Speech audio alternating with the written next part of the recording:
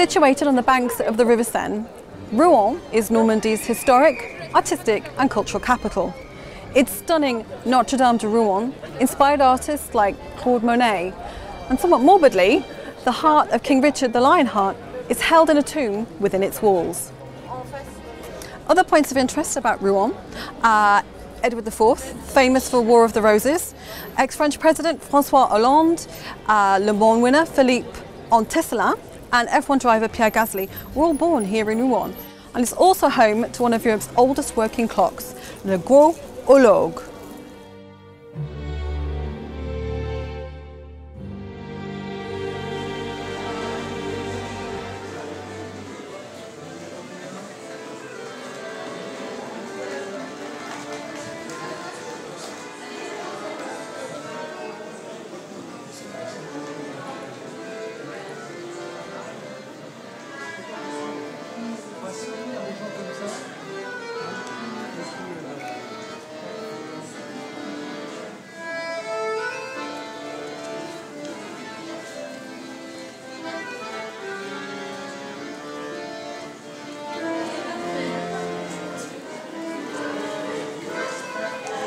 I think it's fair to say that Rouen's had its fair share of famous names and faces and also famous events. But I think one of its more famous figures would be Joan of Arc. And actually, Joan of Arc met her demise here back in 1431 in the Vieux Marché here in Rouen, just behind me. It's also been suggested that her body was burnt three times. And it was essentially to make sure that there was nothing left of her. There were no mementos that people could take and keep. And her ashes were simply cast into the Seine. At the time, Joan may have been hailed as a, a hero of France. But I do have to wonder if she realised that she was on her road to Rouen. I'm really sorry, it's been a really long day.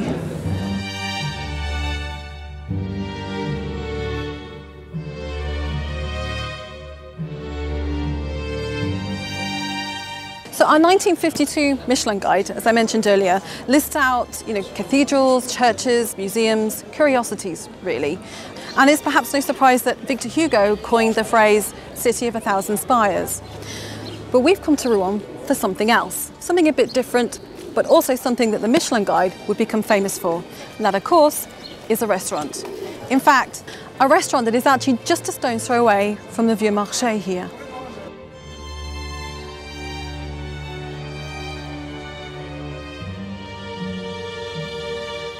The main reason we brought our guide with us really is because we thought it'd be interesting to see whether any of the establishments listed in here back in 1952 were actually still going strong today. And we discovered that not only was the answer yes, but in the case of our next location, it's been serving its community far longer than that. Established in 1345, La Couronne is described as France's oldest auberge, or inn, having beautiful Normandy decor and serving classical Normandy cuisine. In all honesty, our guide doesn't really give La Couronne a particularly gushing recommendation, but it does seem to be a really popular place, very popular with locals, and honestly has a list of celebrity diners that's as long as my arm. So it's had the likes of Salvador Dali, Brigitte Bardot, Sophia Loren, Alec Guinness. Other political people have also dined here that are on the, that list of famous people.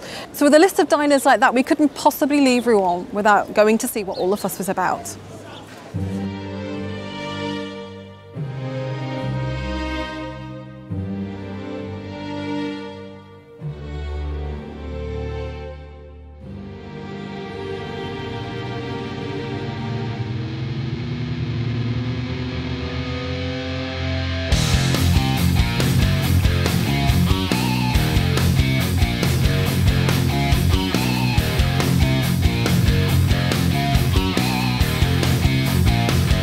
With our lunch stop done, it was time to leave Rouen and hit the road for the next 130 mile run to Le Mans.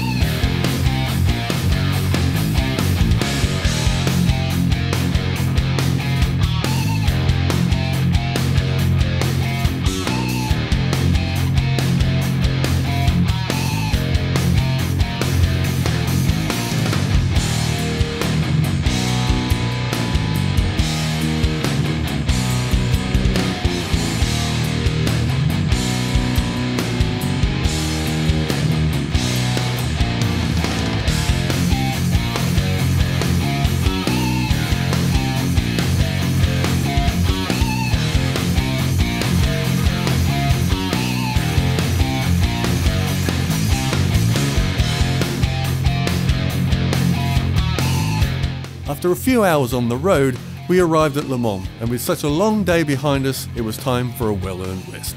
Ready to check out the sights tomorrow.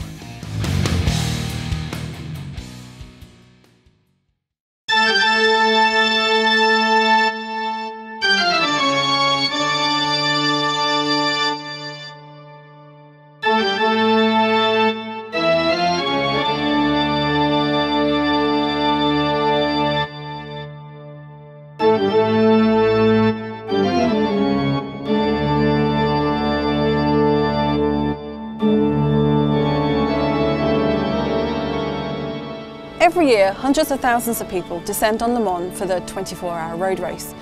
But there is more to the city than just the race. In fact, Le Mans is called the City of Art and is home to some of France's largest cathedrals, such as the one behind me, Saint-Julien. This cathedral actually played host to the wedding of Geoffrey Plantagenet to Matilda, who was the granddaughter of William the Conqueror. And their grandson would go on to become one of England's most famous kings, Richard the Lionheart.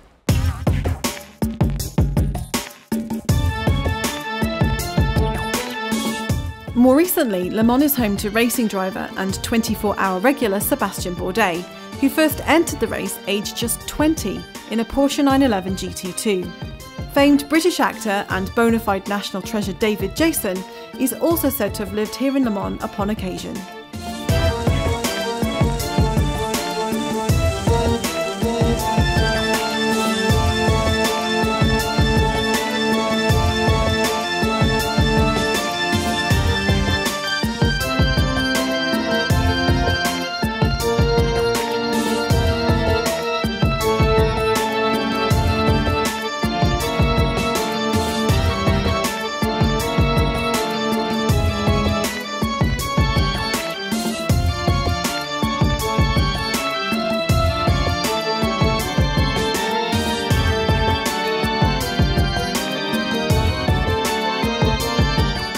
In the historic quarter, you can really get a sense of this medieval city and its 300 years of Plantagenet rule.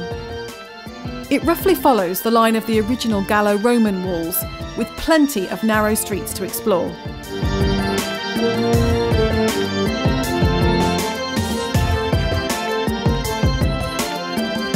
Dating from the 14th to 16th centuries, the stone and colombage buildings now house numerous bars, restaurants, boutiques, and even a small theatre.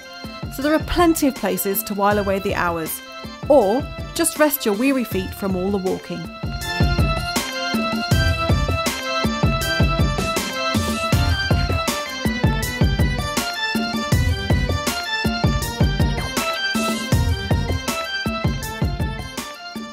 And if all that's not enough, every evening through the summer, the city plays host to La Nuit de Chimère, when every night the city's famous landmarks are lit up with artistic projections.